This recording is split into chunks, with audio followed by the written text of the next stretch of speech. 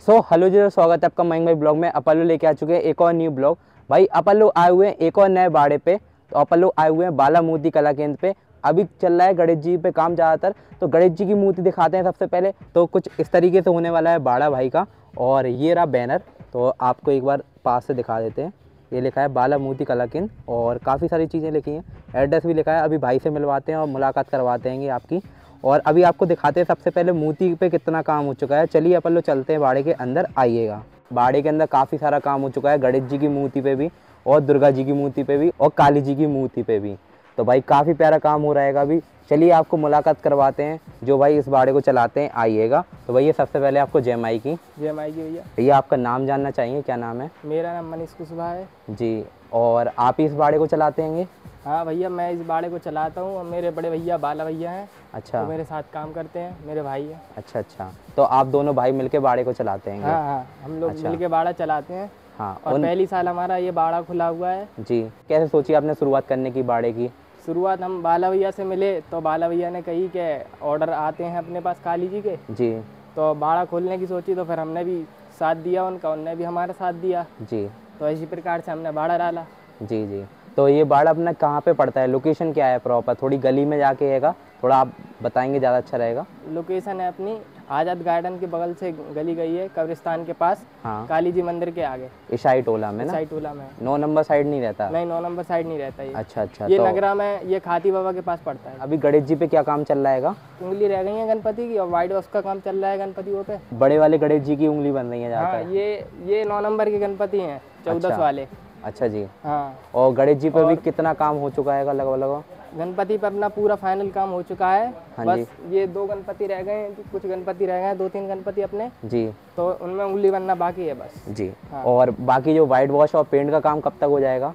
अपना white wash और paint का काम वही चार तारीख को फाइनल हो जाएगा अपना। छह तारीख को गणेश जी आगमन होने हैं हाँ छह तारीख को आगमन होना है अपने जी तो चार तारीख तक काम हो हाँ जाएगा चार तारीख तक फाइनल काम हो जाएगा भाई अपना। जी।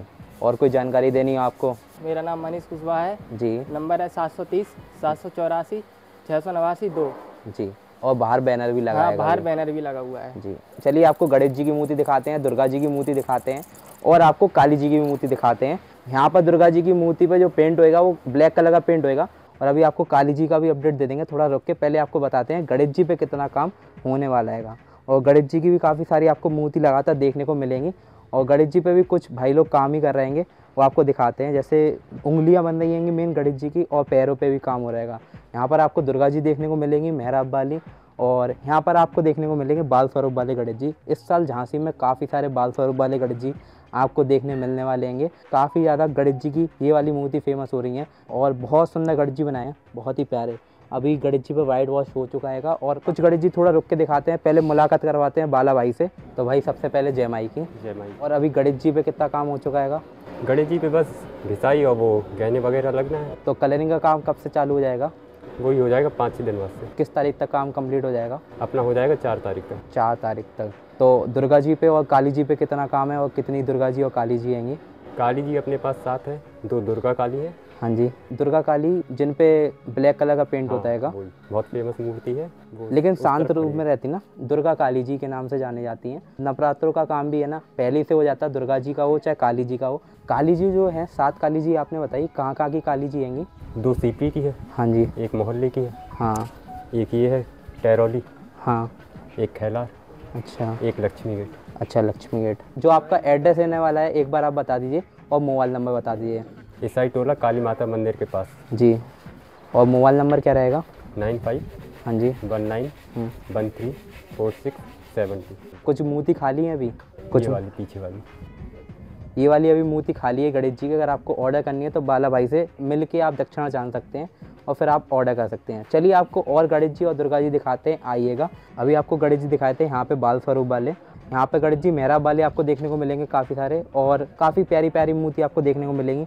अभी जैसे भाई लोग हैं, गणेश जी की मूर्ति पे काम कर ही रहे मेन फिनिशिंग का काम चल रहा है सभी जगह। जैसे अभी गणेश जी पे शूट पे काम हुआ है और गणेश जी की अभी वाइट वॉश की फिनिशिंग चल रही है मतलब घिसाई हो रही है। अभी कुछ मिट्टी का भी काम चल रहा है। अभी ये वाले गणेश जी हैं, काफ़ी प्यारे रहेंगे गणेश जी की मूर्ति तीन, चार, पाँच छः फुट गणेश जी की मूर्ति की हाइट देखने को मिलेगी। लेकिन काफ़ी प्यारे प्यारे गणेश जी देखने को मिलने वाले हैं अपन को, बाला भाई के बाड़े पे। कुछ गणेश जी की मूर्ति है जिन पे हाथों पे काम बाकी है पीछे दुर्गा जी आएँगी पहले दुर्गा जी का मेहराब बनाया गया है, फिर दुर्गा जी बनाई जाएँगी। अभी कुछ काम गणेश जी पे भी होना बाकी है, बस ये वाले गणेश जी पे चेहरा लगना बाकी है।